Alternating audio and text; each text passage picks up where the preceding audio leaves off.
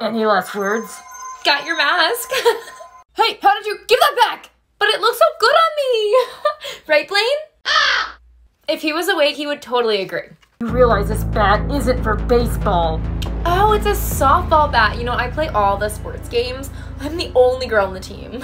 On a softball team? yeah, I'm like one of the guys. Not to sound like a misogynist, but isn't that a girl's sport? Oh, did I say softball? I meant football. Whatever, just put your head down and shut up. No, you shut up. Smile. Did you just take a picture? Yeah, I took a selfie. I'm putting it on my Insta story. Did you post the location? And our relationship status. JK, I know you'd never go for a girl like me. Oh my god, I can't do this. Is there anyone else hiding here?